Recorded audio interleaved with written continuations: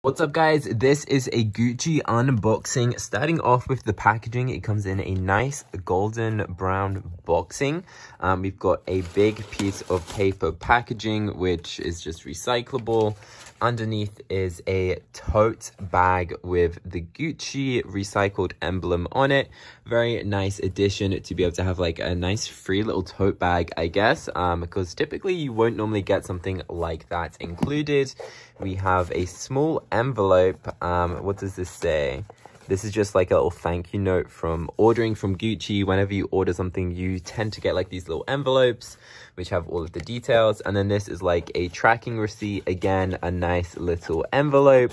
Um, when you go and purchase anything from Gucci, they go and keep your like tracking details. And if you need a return inside of this. And this is the actual product that I have gone and purchased.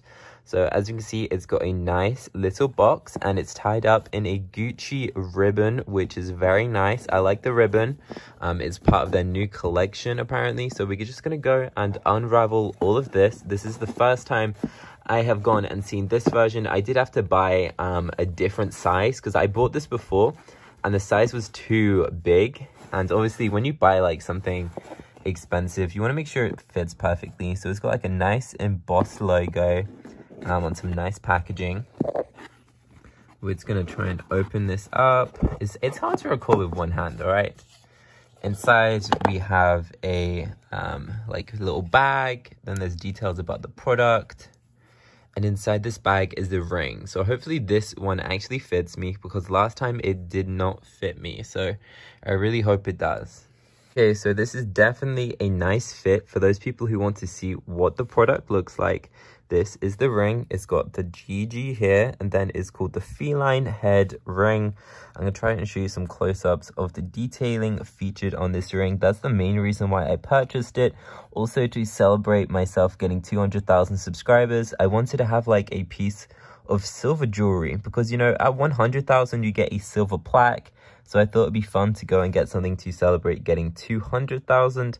And just because you don't really like get a plaque or any award or anything. So I thought I'd get this. Anyway, there's quite a lot of detailing on it. And um, I decided to pick this ring up because it has a tiger head and my logo is a tiger head. This is the first item I've ever purchased from Gucci. It's very nice quality, lots of detailing and um, I like the fact that there's a little GG on the back. I didn't actually always know that there was that little logo there. It's a nice fit. Um, this is what it looks like on my hand. Um, yeah, it's very, very cool. For those of you who want to see what it looked like on my finger, I've still kept the tag on it just for now in case um, there was any issues with it. I wanted to make sure that it was like good fit, so I didn't want to take it off even after wearing it for like a couple hours, just to make sure that there's no issues, it doesn't hurt my finger and all the sizing's correct. So there's definitely a lot of detail, which is the only reason that I really picked this one up. Plus, the tiger face is absolutely amazing, and I think it's a really nice ring. It's kind of subtle. It's not like got Gucci written all over it like a big G G, uh, you know, it's only got this subtle little logo on the inner side. So from the outside, um, if you know your fashion, then yeah, you'll know that this is the Gucci feline ring. Or you could do like a um, little rotation and kind of, uh, this is how to do in one hand, have the like the GG on the top.